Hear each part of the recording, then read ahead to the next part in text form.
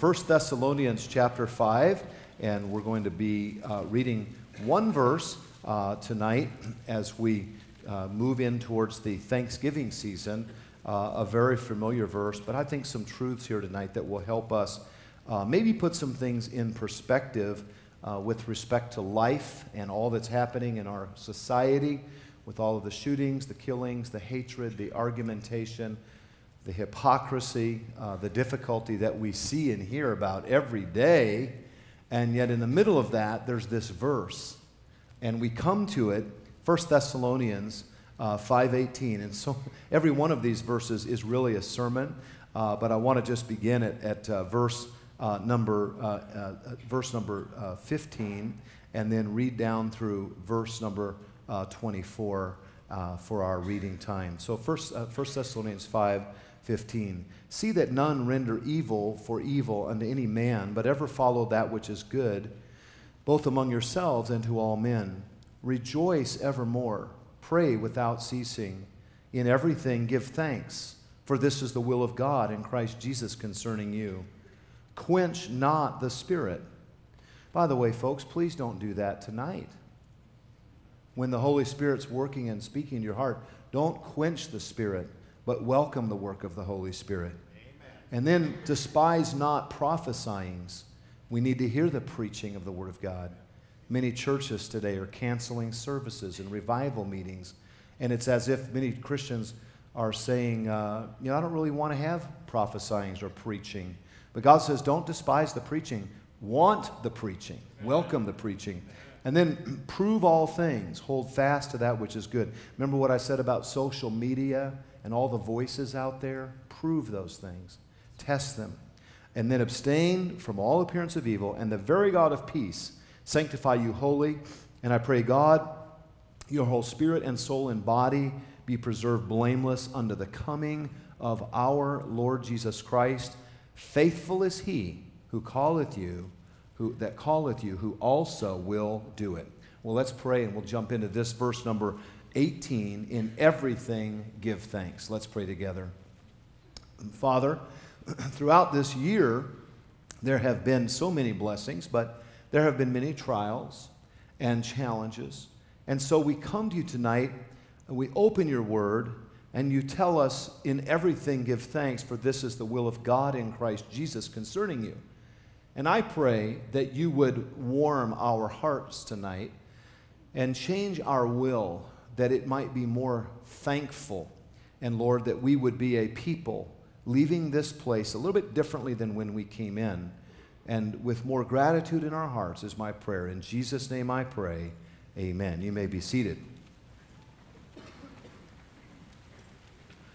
I've always loved the passage that we read just a moment ago from 1 Thessalonians chapter 5 because it sort of reminds me of how I used to write letters, and sometimes uh, maybe to Terry or maybe to some other loved one, and maybe even to a church member. And you kind of have the general body of the letter. And then, how many of you ever put a PS on a letter? You, you ever done that? And how many of you put a PS, PSS on the letter? You know, and how many of you then, oh yeah, and you put another one and another one? And, and, and in no way am I saying that the Holy Spirit was just adding stuff that the Holy Spirit forgot. God doesn't forget. But there are a number of things at the end of this book that seem to just be admonitions that, as I said a moment ago, are just mini sermons all by themselves, like we read often in the book of Proverbs.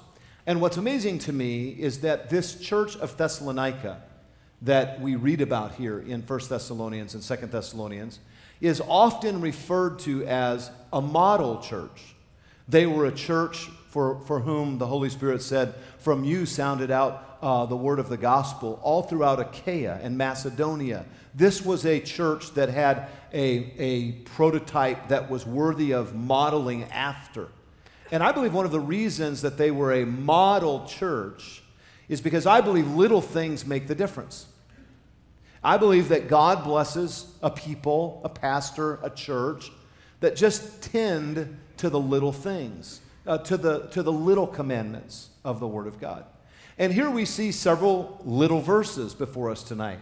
And one of those little things that is a characteristic of a model church is that it is a grateful church. It is a church filled with people still humble enough to say, God has been good to us. God has been good to me. And, and I want you to think about this because we're commanded here in everything, give thanks. In everything, give thanks. Now, sometimes today in our culture, it seems like with all of the laws and with all of the threats against Christianity and, and uh, with uh, oftentimes children being told, you know, don't, don't read the Bible in school and, and teachers uh, being told, don't sing joy to the world, the Lord has come, because that's against the law, you know, and, uh, you, and don't post the Ten Commandments. You wouldn't want somebody to obey the Ten Commandments. They might not kill if they you know, read the Ten Commandments or something. And so, in this day where there's this removal of any semblance of Christianity, uh, it seems like many times people are hesitant in the public place to just say, thank the Lord or praise the Lord. It, it always refreshes me when I go to a military retirement and uh, hear some of our men give thanks to God, or a retirement at a secular uh, workplace, or maybe something like a retirement uh, uh, ceremony, or even a dedication for a business, and to hear members of our church just say, I just want to pause and thank God for what He's done in my life. It's refreshing. It reminds me of the little fourth grade girl who wrote a little story about Thanksgiving. She said, The pilgrims came here seeking freedom from you know what when they landed, they gave thanks to you know who. Because of this, we can worship each Sunday, you know where. And uh, a, a, lot of times that's kind of how generic it gets. You know, people are not specifically thankful to the Lord as they once were. I heard about a husband who gave his wife a beautiful skunk coat, and he laid it beside the Christmas tree. And when his wife opened it up, she said, I can't see how such a nice coat can come from such a foul smelling beast. The husband said, I didn't ask for thanks, but I do demand some respect.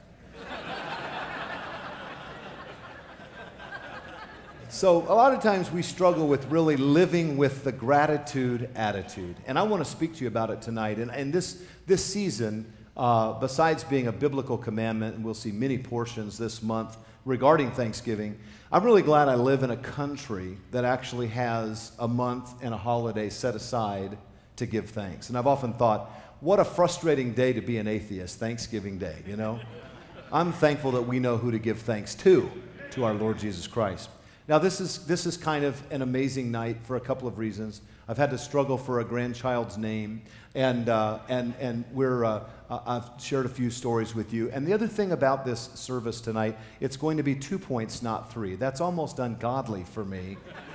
I may make up another one before it's over, I'm not sure.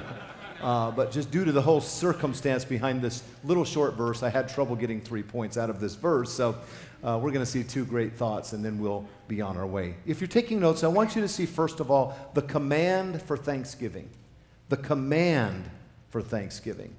In everything, give thanks. Let's say that together, shall we? In everything, give thanks. Now, how many of you would say, Pastor, I have failed here a time or two? Anybody else, or am I the only one? I mean, I have to be honest sometimes when, when a storm comes in like a flood, and there is an incredible uh, moment of bad news or traumatic incident in our life, it's, it's a rare thing that we immediately give thanks. Normally we ask, why? How do we overcome it? You know, how could this happen? We often go through a series of things that, that are the opposite of giving thanks. But we learn here that in everything we're to give thanks. So, first of all, I want you to know from this verse that this gratitude attitude is to be continual. It is to be continual. In everything, give thanks. Uh, it is a continuous action that God is looking for. Uh, giving thanks is not something that is to be simply relegated to a holiday. Psalm 146, the psalmist said, While I live, will I praise the Lord. I will sing praises unto my God while I have any being. And I often use Dr. Siska as an illustration. I've been watching him since Virginia went to heaven, and I talk with him often, and I'm amazed that in the valley of the shadow of death, he still praises God. And it seems to me that oftentimes godly Christians who are going through great trials manifest the presence of the Lord with a giving of thanks to the Lord. And it's something that all of us should continually ask for. We live in a day of critics. By the way, they never have built a monument to a critic. We live in a day of analysts. We live in a day of, you know, you know Monday afternoon quarterbacks. Uh, we live in a day when everyone uh, has a complaint. And yet God says, that's not what I want to hear from you continually. I want to hear thanksgiving continually. And this, this is in everything, give thanks, whatever the circumstances are. And, and there's two ways that we can do that. First of all, we can do that with our lips. And the Bible says in Hebrews 13, 15, By him, therefore, let us offer sacrifice of praise to God continually. That is the fruit of our lips, giving thanks to his name. You know, I, I really believe that we as a church family need to make sure that at home, that there is an attitude of gratitude in our home.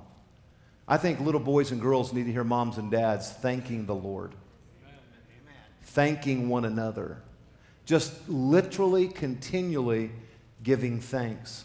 And it, it's something that is missing from our culture today. You know, uh, the average little boy, my name is Jimmy, gimme, gimme, gimme. It's just really amazing to me. Sometimes I don't think we're grateful enough just for the small things. Often I often have told you at Thanksgiving time, my first Thanksgiving as a married man, I was working for Caterpillar Tractor Company. And I'll never forget when they gave us this game hen at Thanksgiving time. And a little note signed by the owner of the company. And, uh, and I was so excited about that game hen. And, and you can, you, I'm not just making this up. We rarely ate meat.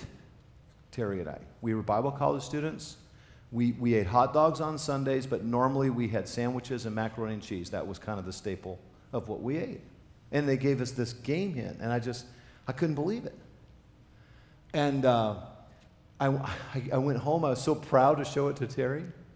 Look what they gave me at work this, this whole bird that we can eat. And a lot of the men at work were cussing ah, these people are millionaires. This is all they're going to give us. You know what I'm saying? Just, just like people that pick it for more, more, more, more. And, and I'll tell you, I was so thankful. And the longer that I live and the more that I lead, and the more that I analyze budgets and study, I was looking today at just what it costs us to provide medical insurance for one family that works here. It costs more to provide medical insurance for a family in our ministry than I made for many years in the ministry. And, and yet, many of you who have that type of a benefit are not thankful for it at all. Would probably not stop to consider that somebody's paying for that, and in most cases, it's the company where you work. Maybe you're paying for a little part of it. But I'm simply saying it's real easy to complain but there's always something to be thankful for. And, and we just need to stop, and because the Bible says in everything, and with our lips. I mean, what would happen at work if just once in a while you just said to your boss, hey, you know, thanks, thanks for uh, the opportunity to work here, or thanks for what you taught us there, or thanks for helping me out with this or that, and, and just giving thanks. I wrote a letter to, to Bill Anderson, who's. Uh, who was my immediate uh, supervisor at work. And, and I put one in there for Bill Shepard, who was the owner of the franchise where I worked. And did you know that, that Bill Shepard, who was a multimillionaire, found me a few days later and he said, Are you Paul Chappell? I said, Yes, sir. He said, Do you know that in all the years of giving out little things at the holidays, this is the first time anyone has ever said thank you to me? It, Thanksgiving has become that uncommon. And God says, I don't want it to be uncommon. I want it to be very common. I want it to be continually something that's from your lips. And, and, you know, people complain about their chair at work, their office, their coworker. You know, if we took a poll tonight, someone would be too hot, too cold, too light, too dark, who knows what, you know. That's why we don't take polls. but give thanks. I always tease the girls in my family, and there's, there's a growing number of them now. I always say, you know, you always take note of when, it, when it's windy, but let's be thankful when it's at least not windy. And probably we should be thankful when it is as well with our lips. I believe it was Charles Spurgeon who said, When we bless God for mercies, we usually prolong them. When we bless God for miseries, we usually end them. Praise is the honey of life which a devout heart extracts from every bloom of providence and grace. Isn't that a great quote? When we bless God for our miseries, He usually ends them. In fact, I, I, I, really believe that oftentimes God, God allows a trial. We know that He will not try us above that which we are able, but He allows a season to bring us to a place of humility, to bring us to a place of really saying, Lord, I acknowledge your lordship. I love you. And yes, Lord, I thank you. And, and God will oftentimes just let something rest on us until we humble ourselves before Him in that way. So, with our lips. Another way that we give thanks is with our livelihood. And I'll just mention this briefly. Look at Hebrews 13, 16. But to do good and to communicate, forget not. Is that in your notes? All right, let's read that really uh, quickly, the whole verse, Hebrews 13, 16. But to do good and to communicate, forget not, for with such sacrifices God is well pleased. Now, communicate is not talking about Facebook. I'm sorry to disappoint you. Okay? Communicate is talking about giving, it's talking about expressing ourselves through giving. That's why it's called thanks. Come on, help me out. Thanks giving. Why? Because thankfulness is to be expressed. So when we talk to the Lord with our lips, we're expressing our gratitude. And when we give to the Lord in the offering time, we're expressing our gratitude. We're communicating. Uh, you see, giving is a part of Christian worship. Now, I know the cynics, oh, they want is your money, it's all about money, blah, blah, blah. No, it's all about a heart that worships God. And one of the ways we worship is through communicating to God. And one of the ways we communicate is by giving. How many of you understand this? That uh, today, today was my wife's, this is a bad illustration. Today's my wife's birthday. And due to the series of events, we've still not celebrated her birthday, except at 4.30 at the dirtiest Del Taco I've ever eaten at in my entire life. It was amazing. I, if I wouldn't have been starving half out of my mind, I would have walked right out of there. I wish I knew who owned that franchise. I have a good mind to, to counsel them on management and cleanliness. So, this is a bad illustration about gratefulness, isn't it? I did give thanks to the Lord for the food. I want you to know that. And I gave thanks and I gave a tract to the lady at the counter. But other than that, it was a, it was a bad situation. But Terry was grateful for that dinner. But how many of you know if I hopefully sometime the next few days take Terry out for maybe a nice dinner or finally get the chance to give her a birthday gift? How many of you know that when I give something to her, that's communicating to her? It's communicating my love and my appreciation. So if, if I give something to Brother Furso, or if I give something to Brother Reader, or if I give something to a family member and it's communicating to them, why is giving not communicating to God? Amen. It is communicating to God. And don't you let some carnal, backslidden, non tithing Christian take your joy away from communicating to God your thankfulness to God. Amen. So look at Philippians 4:15. Now ye Philippians know also that in the beginning of the gospel when I departed from Macedonia no church communicated with me as concerning giving and receiving but ye only. So God says I want you to continually give thanks. In everything give thanks with your lips, with your with your offerings, just have a gratitude attitude. It should be continual. And then secondly, it should be unconditional. And the reason that I say that is because it is an imperative command. It's an imperative command. Now, a lot of times people are like, well, you know, I'll be thankful for my job if they treat me the way they should. That's not biblical thanksgiving. You don't want a pastor that gives 100% only when everyone in the church is being so nice to him. It's not to be conditional, it's, it's a command just like love one another. This command, in everything give thanks. It's an imperative command. Therefore, it is a command to always, through all circumstances, be thankful. Henry Ward Beecher said, A proud man is seldom a grateful man, for he never thinks he gets as much as he deserves. Isn't that a great statement? A proud man is seldom a thankful man, for he never thinks he gets as much as he deserves. So instead of waking up in the morning and doing what the power of positive thinkers say, you know, look in the mirror and tell yourself how successful you're going to be that day and all that type of thing, you might start the day off by saying, I am a sinner who deserves nothing but hell, and everything that happens to me today beyond that is a blessing from God. Because God says, I want you unconditionally to give me thanks for the goodness that I've bestowed upon you. It's an imperative command, and it is a constant command. It's in the present tense. In everything, give thanks. Tozer said, Gratitude is an offering precious in the sight of God, and it is one that the poorest of us can make and not be poorer but richer for having made it. How many of you know that riches of the heart has nothing to do with the pocketbook?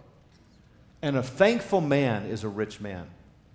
I've known some men and women who have a lot, but they don't have a thankful heart and they're miserable. And I've known some people who have so little, but they have a thankful heart and they're so rich. And this is what God is trying to teach us that in everything give thanks. God wants us when the blessings come to give thanks. That makes common sense to us. James chapter 1 and verse 17. Every, every good and perfect gift is from above and cometh down from the Father of lights, with whom there is no variableness, neither shadow of turning. And, and we thank the Lord for that. It is far more important to pray with a sense of the greatness of God than with a sense of the greatness of the problem. In other words, when we pray, we know we're praying to the one who gives to us the many good blessings of our life. Psalm 145 and verse 3 Great is the Lord and greatly to be praised, and his greatness is unsearchable. One generation shall praise thy works to another and shall declare thy mighty acts. And so we thank the Lord for his greatness and, and uh, for uh, his goodness to us in the blessings. In the blessed times, give thanks. Uh, folks, I can't stress to you how that so many of you, just the fact you're sitting here tonight, many of you are sitting with a spouse and you're saved and, and, and you're employed, how blessed we are. And, and I know sometimes you know, we want to make that next goal and we want to see that next victory and we want that next promotion. But sometimes we need to truly practice what the Bible says and learn to be content. Godliness with contentment is what? Great gain. Okay? So in the blessed times, but then also in the times of trials. In the times of trials, God says to give thanks. James 1 2. Brethren, count it all joy when you fall into diverse temptations or different trials. Ephesians 5 20 giving thanks always for all things unto God and the Father in the name of our Lord Jesus Christ. Just whatever's going on, look for an opportunity to give thanks. Now, I have some weird habits in my life, and one of them is when I go someplace that has any history, I like to go to the graveyards. And uh, I just, I, I have learned a lot about history in graveyards. I remember standing in the graveyard at uh, uh, John Newton's church in Olney, England. And just what people put on those headstones is amazing. The verses, the testimonies. Just to see how long some people lived three days, three weeks, and then still praising God. Absolutely amazing. And we were, years ago, maybe 25 years ago, we were up in, way up in Fortuna, California. How many of you even know where that is? I knew the Rubers were going to raise their hands. I just knew it because you're longtime California residents. And they were like two of three people. It's up by the Redwood Forest, right, Brother Ruber? Fortuna, California. If, if, how many of you have been to the Sequoia National Forest? Let me see where you are. How many of you have been to the Redwood Forest? Okay, well, you've been near Fortuna. And Fortuna is actually an old Lutheran settlement. It's a dairy area in the midst of this uh, heavily forested part of our state. And when we were there, uh, I, I just kind of look up in a map, or I'll, you know, when you pull into the city, read about the city. And it says it was founded by Lutherans way back in, you know, whatever, 1800s. I said, oh, let's go to the graveyard. And all the kids said, yeah. Ice cream or graveyard, you know. Okay, Dad, you know, so. And, um, but we went there, and apparently there was some, uh, some sickness that came through that city. And the, these, uh, these Lutherans, and long theological story, there's a, there's, a, there's a line of Lutherans that I believe actually did preach the gospel for a while, and the, some call them Missouri Synod or whatever, but uh, definitely you could tell from these tombstones, these people were trusting Christ. And, and yet we came to this whole row of tombstones, and it was uh, just one little baby after another little baby. And it was sad. I mean, three days, 10 days, things like that. And on one of those tombstones, here's the, here's the phrase that I read We cannot, Lord, thy purpose see, but all is well that is done by thee. Can you imagine laying your baby to rest and having the spiritual heart to put that on the tombstone? We cannot, Lord, thy purpose see, but all is well that is done by thee. So even in their difficult moment, they're still praising God. They're still giving God glory uh, for being God, and they're still trusting in Him. So the command for thanksgiving covers the entire scope of human uh, interaction, relationship, ups and downs. And I just want to encourage you today with your spouse, with your children, with your job. We get weary, we get beat up, but don't let the devil rob from you that gratitude in your heart to the Lord who saved your soul. So there's the command for giving. Then, point number two, and finally, I never get to say that on point two. That felt really cool. All right. Now, point number two uh, is the consolation of thanksgiving, okay? The consolation of thanksgiving. Now, look back at our text, verse 18. In everything give thanks. We've covered that. But look at the second part. For this is the will of God in Christ Jesus concerning you.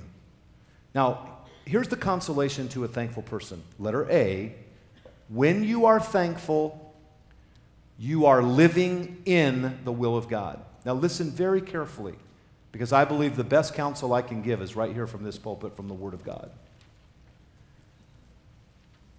People ask all the time, How do you know God's will? You will never know God's will when there's an unthankful heart in your breast. You'll just not know it. In fact, more people tell me about, I put my name up on a job board. That's not how you find God's will.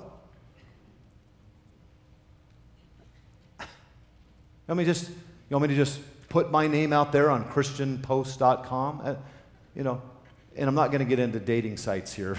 you know, that's a whole other story, right? But my goodness, folks.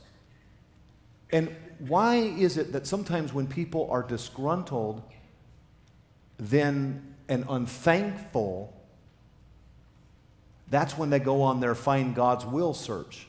So here's my counsel to you get thankful where you are first, get it settled. The Lord had to teach me that so many years ago when, as a 15 year old boy, my parents moved to Korea. And I was so frustrated because I couldn't play football, I couldn't have a car, I had a girlfriend. I was sure we were going to get married by like age 16, probably. And so instead of thinking, yeah, we're going to go serve the Lord in Korea, I got a poochie lip. And I, I wasn't thankful. And did you know what happened when we had a revival meeting 18 months or so into that experience? And I got thoroughly right with God. I got thankful. Because gratitude really is about your spiritual condition. And here's what I learned your spiritual condition has nothing to do with where you live, nothing to do with where you work, and nothing to do with who you're married to. It has everything to do with how deep your Christian life is. Because suddenly, when I got right with God and learned how to give thanks, kimchi tasted great. Amen, Brother Phil, and it's tasted great ever since. Why? Because I got right with God. That's a sermon right there, I'm telling you. The consolation of a gratitude life is that you're much more likely to be in God's will when you're giving thanks.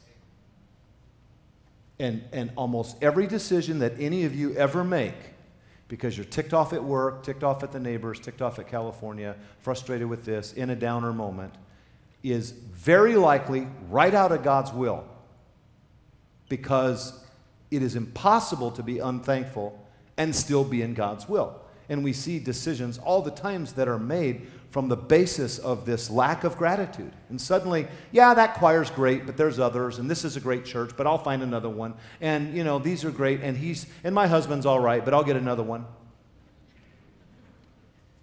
That happens all the time, ladies and gentlemen. In everything, give thanks. Why? This is the will of God for you. So, knowing that all things fall into God's will is a comfort which some cannot enjoy unless they're giving thanks. And so, Psalm 107 and verse 2 Let the redeemed of the Lord say so, whom he hath redeemed from the hand of the enemy. God says, I want you to just say how good I am. So, living in God's will. How many of you would say being in God's will is a wonderful consolation for life? Uh, as a pastor, we, I've gone through ups and downs, and we see victories and defeats and all these things. But I thank the Lord for the constant sense of knowing that I'm in His will. Before I ever begin a building program, we're studying this children's building, 17 Ways to None, trying to get the right budget, the right builder, all these different things, waiting for the funds to come in. But because I know this, that when we put the shovel in the ground, there's no looking back. So I want to know that I know that we studied, it's the time, it's the will of God. I want to stand up here and know that uh, as we go forward. And it's wonderful to, to know that you're in God's will. It's a wonderful way to live. And then, secondly, you will not only live in God's will, but the second consolation is you will live in Christ's likeness. Now you say, well, why do you say that? Because I got to just tell you, one of my favorite services here is when we have the Lord's table. And we just do it, you know, five to seven times a year for, for our church members. And when we gather together around the Lord's table, and I'm going to preach this coming Sunday morning about the Passover from Exodus in our study out of bondage. But when we gather together and observe the Lord's table, one of the most meaningful parts of what Jesus said when he was, dis, uh, when he was distributing the, the elements, the, the wafer and the juice.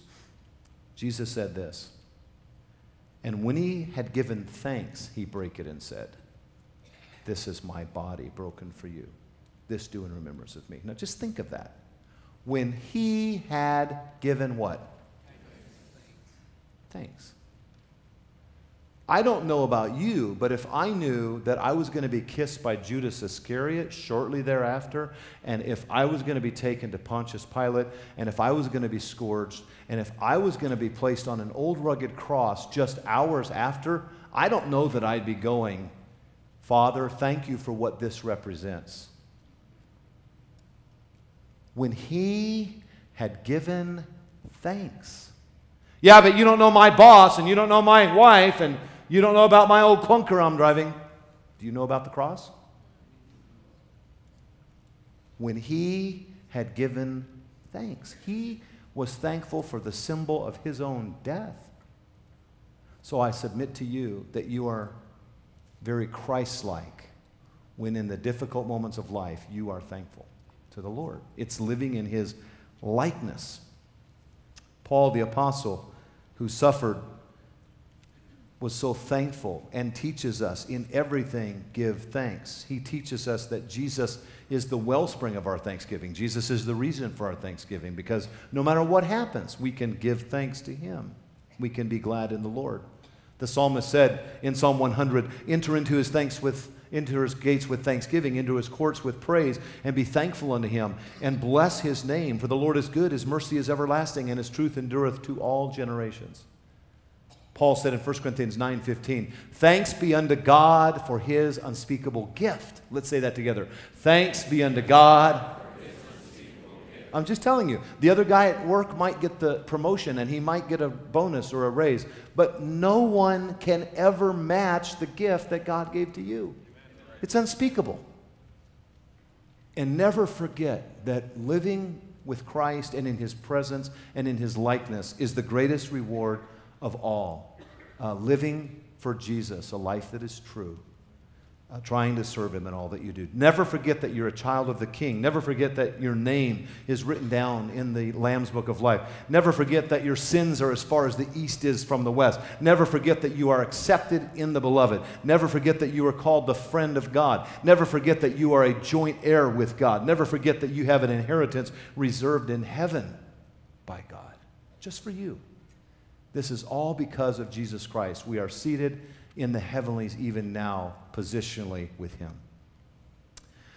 Our grandson Chandler went to the doctor yesterday for his follow up on his lungs. And he sat there in the, in the little bench there, and doctor brought the blood pressure cuff, and he started to tell Chandler, he said, This is to take your blood pressure, and, you know, kind of like calming him down just a little bit. And uh, Chandler said, Oh, I know about blood pressure. I was in the hospital a long time. He said, But you know the good news? They brought me pancakes to my bed. and he said, My papa came and brought me presents. And this is why I know Chandler's going to be a preacher pancakes, papa, and presents. It's just that simple. He's four years old. He has alliterated sermons to a nurse. Come on, folks, see it. It's already happening in his life. Now, just think about that. They're trying to get him ready for a blood pressure cup, and he says, Yeah, I, know, I've been in the hospital a lot, but you want to know the good news?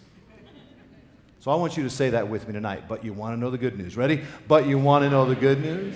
Okay?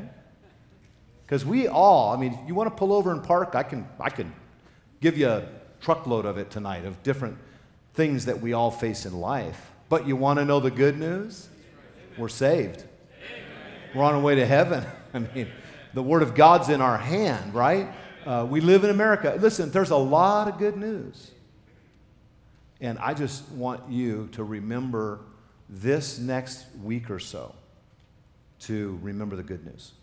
And uh, there's, uh, there's, there's a lot of it. There's a lot of it to remember and a lot of it to ponder. And I really believe it will make a difference. And uh, thank the Lord for pancakes, papa, and presents. Amen.